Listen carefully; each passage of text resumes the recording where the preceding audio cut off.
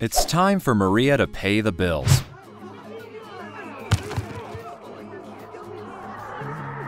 Avoid the nightmare. Use TouchPay, the Philippines' first and only automated payment machine. Maria can pay all of her bills on TouchPay, from utilities to mobile to insurance, and use other services like flight tickets and top up of e wallets.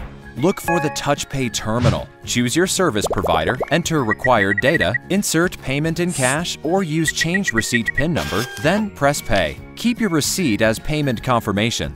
The machines don't give change, so it's best to bring the exact amount. But if you can't, extra money you put in turns into a change receipt, which you can use as credit for your next transaction.